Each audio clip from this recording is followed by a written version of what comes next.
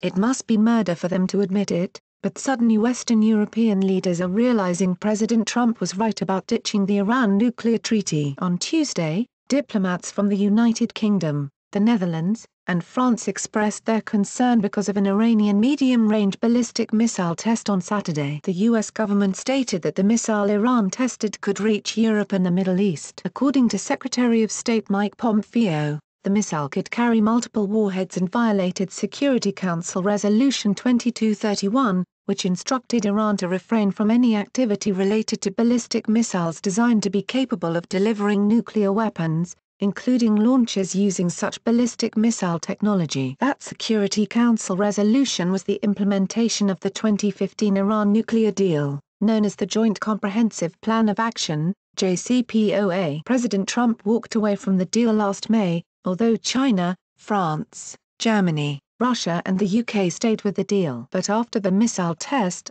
the uk and france called a closed-door meeting of the security council. the government of france stated, france is concerned by the launch of a medium-range ballistic missile by iran on saturday. it condemns this provocative and destabilizing act. france reiterates that the iranian ballistic missile program is not in compliance with two thousand two thirty one, 2015. It calls on Iran to immediately cease any activity related to ballistic missiles designed to be able to carry nuclear weapons, including launches using ballistic missile technology. As Fox News reports, the European ambassadors joined in expressing their concern. UK Ambassador Karen Pierce called the actions part and parcel of Iran's destabilizing activities in the region. Her comments echo UK Foreign Secretary Jeremy Hunt, who said Saturday that he was deeply concerned by Iran's actions, even as he reiterated support for the nuclear deal. Provocative, threatening and inconsistent with UNSCR 2231. Our support for JCPOA in no way lessens our concern at Iran's destabilizing missile program and determination that it should cease,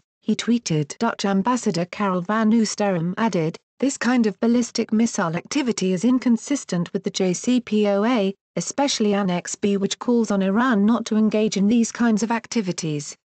Even French Ambassador François Delattre avowed the test was inconsistent with the resolution, urging Iran to immediately cease any activity related to ballistic missiles designed to be able to carry nuclear weapons, including launches using ballistic missile technology. Still, the group displayed its usual pusillanimous attitude when it came to Iran, with the resolution stating it only calls upon Iran to stop its ballistic tests instead of demanding a cessation. On Tuesday, U.S. Ambassador Nikki Haley, in her typically blunt manner, stated that the ballistic test was dangerous and concerning, but not surprising adding, the United States has repeatedly warned the world about Iran's deliberate efforts to destabilize the Middle East and defy international norms. The international community cannot keep turning a blind eye every time Iran blatantly ignores Security Council resolutions. If the Security Council is serious about holding Iran accountable and enforcing our resolutions, then at a minimum we should be able to deliver a unanimous condemnation of this provocative missile test. Sen. Ted Cruz echoed,